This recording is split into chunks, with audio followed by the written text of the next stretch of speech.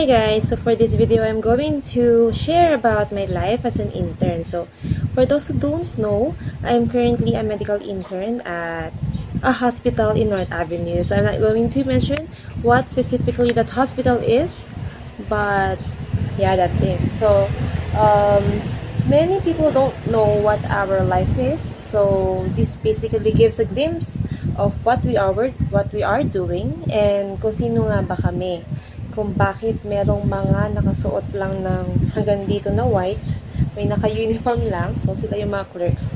Yung mga hanggang dito lang na suot, usually that's intern, that's an intern. And then yung mga ganun, usually mga residents yan.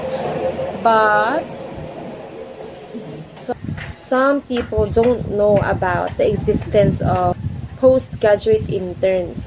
So, Usually, they are the ones who are wearing the short sleeve white coat.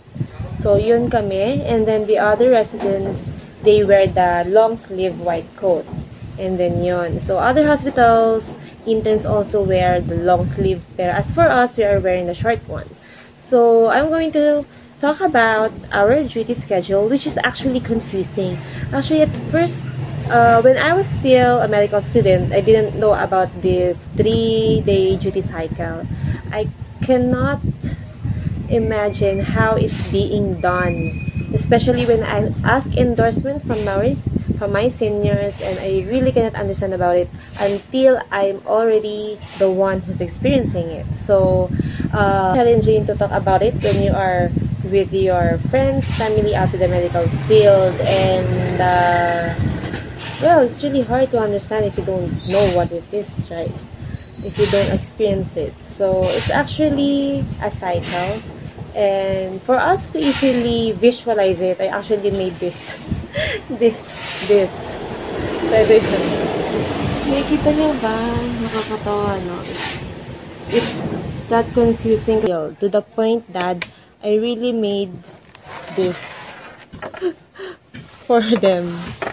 Ito, explain ko na rin for everyone to know na kapag ka sinabing duty ng mga doctors or pag nakita nyo po yung mga doctors na nasa hospital, hindi po always silang duty, duty status.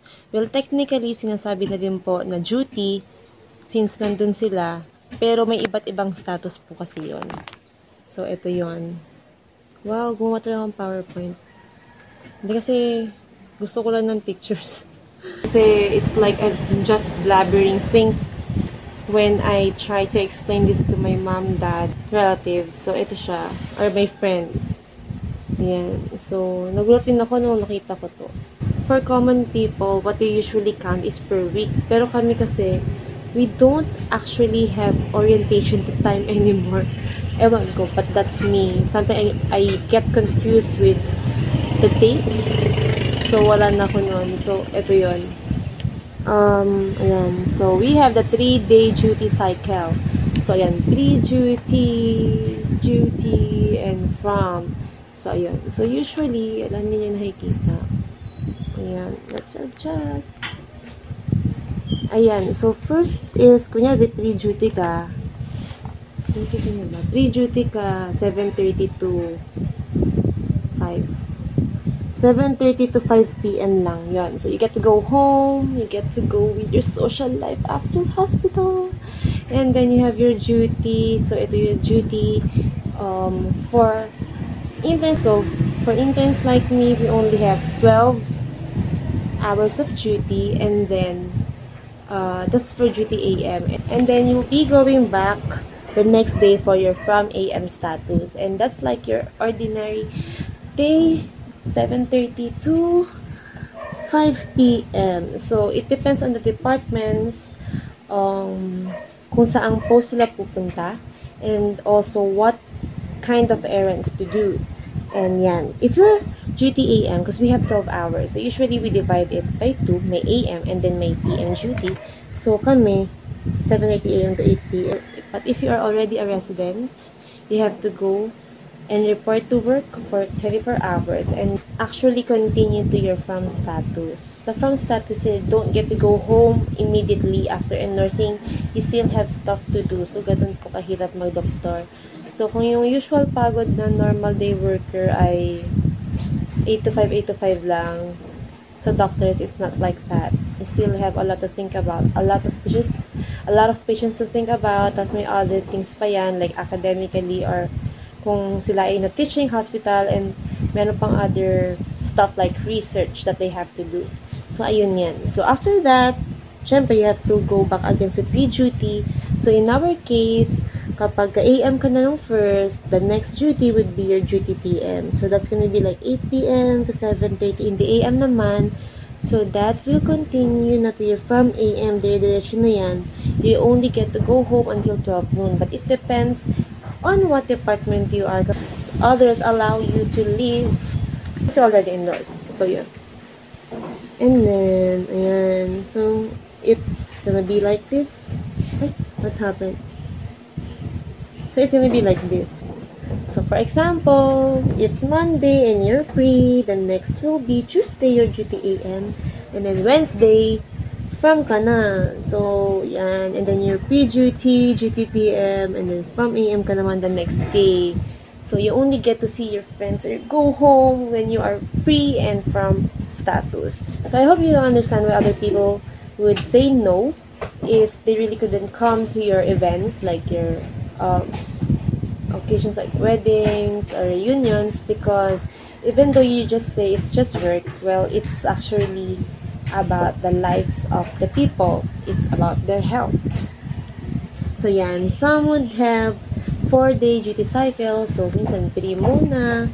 Three duty from. For example, since I'm going to be vlogging about our internship in IM. So, pre-duty, we are in the ward. So, in the ward, hindi ako nakita.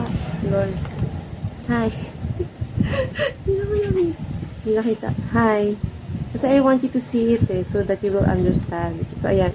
So, ward, um, we rotate every 10 days. So, it's uh, composed of different wards. So, for example, we go to onco ward, then we go to gastro ward, pulmo ward. So, we have different exposures of uh, various cases. It's actually high yield and we really appreciate it because we can see we can see the things that we just read from the books. So, ayun. So, we can also go to OPD or your outpatient department. So, yun yung mga cases na people doesn't need to be admitted pero managed as a case of mild lang naman. So, pwede silang umuwi ng bahay, just take oral medications, and then, ito na yung duty, and yung prom namin, it's Miku and Mitu, so that's gonna be the intensive unit. So, this is where critically ill patients go. So, ayan po yun. So, I hope you understand. So, ayan. It's pretty so way. So, yun. With that, I hope you understand uh, the cycle of the doctor. So, it doesn't really mean that when doctors go to the hospital and they are there, uh, kasi iba-iba din yung ginagawa eh. This is actually done to maximize the time and then to provide continuity of care and also for the distribution of work. Kapag umuwi at saka pag dumarating, it's important that we endorse patients. So, ayun. So, kailangan talaga may sistema. Actually, ang hirap talaga niya intindihin at first. Kahit ako, naguluhan din ako. Kaya, ayan, pinakita ko na sa inyo. Yay! So, that's all for now.